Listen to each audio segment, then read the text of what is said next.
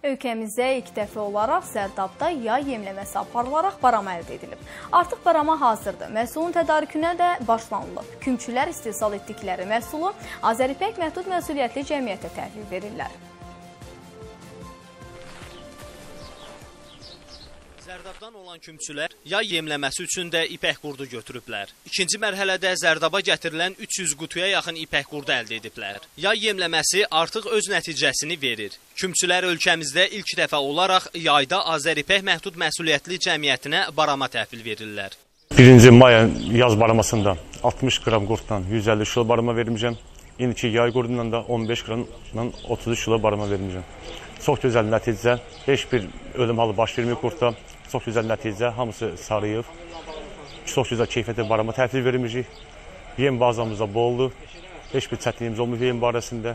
Azəripək MMC-nin nümayəndəsi Eldar Mustafayev ilkin mərhələdə kümçülərdən 500 kiloqram yaş baramanın tədarük edildiyini bildirir. Amma göstəricilərin artacağı verilən proqnozların özünü doğruldacağı deyilir.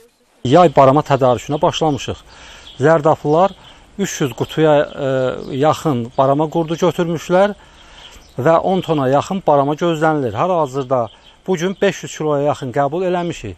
Məlumat üçün deyim ki, ə, Zərdaflılar iyun ayında yaz barama tədarükündə 65 ton 321 kiloqram məhsul istehsal eləmişlər və birinciliyi əldə etmişlər. Hal-hazırda ikinci ə, yay mövsümündə də ə, birinciliyi əldə eləmək istəyirlər.